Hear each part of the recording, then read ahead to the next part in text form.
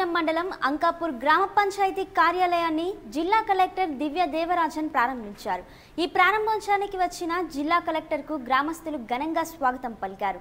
బాజా భజంత్రీలతో ఊరేగింపుగా కార్యాలయం వరకు తీసుకొచ్చారు. అనంతరం కలెక్టరేట్ నూతన గ్రామ పంచాయతీ కార్యాలయాన్ని ప్రారంభించారు. గాంధీ అంబేద్కర్ చిత్రపటాల ముందు జ్యోతిని వెలిగించారు. గ్రామ పరిపాలనకు ఈ నూతన పంచాయతీ భవనం కేంద్రం కానున్నదని కలెక్టర్ పేర్కొన్నారు.